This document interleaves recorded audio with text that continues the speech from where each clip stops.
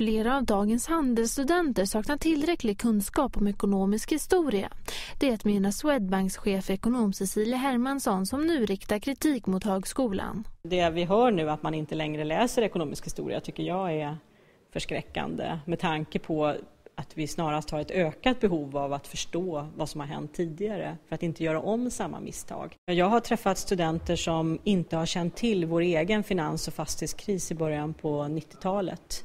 Och eh, då är det väldigt svårt om man har gått ut till exempel Handelshögskolan om man inte har den kunskapen om vad vi själva varit med om som idag liknar den situation vi har idag. Men Lars Bergman, rektor för Handelshögskolan i Stockholm, har svårt att hålla med Cecilia Hermansson. Hon är välkommen att komma och se vad vi gör till att börja med. Jag tror inte det, hon har helt korrekt bild av det. Men, men visst, man ska alltid vara självkritisk och jag tror att eh, det är inte så lätt att förutse framtiden. Och det var väl ingen som kunde ana vilka, vilka kriser vi skulle hamna i här under hösten. Alla erfarenheter från tidigare kriser borde finnas med i utbildning på ett tydligt sätt. Inte nödvändigtvis i en särskild kurs i ekonomisk historia.